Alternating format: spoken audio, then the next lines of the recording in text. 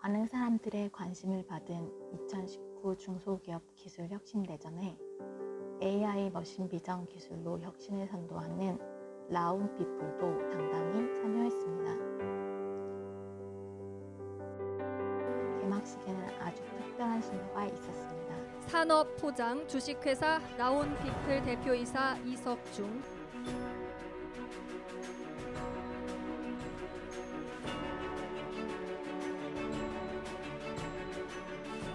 축하드립니다. 기념 촬영하시겠습니다. 상장은 앞을 향해 펼쳐주시면 되겠습니다.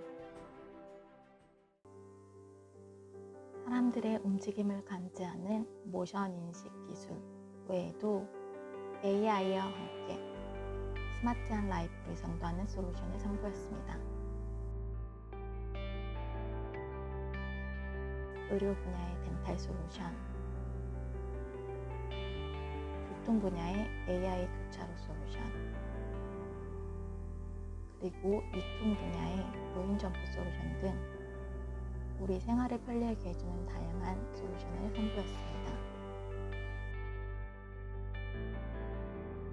독보적 기술력과 개발력으로 글로벌한 기업에게 관심을 받고 있습니다.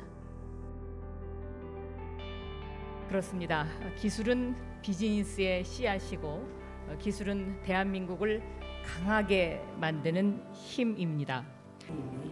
모두가 행복한 세상을 만드는 사람들이 있어. 기술로 행복하게 만드는 사람들. 우리는 인공지능을 이용해 편리한 세상을 디자인합니다. 행복한 세상을 만드는 것.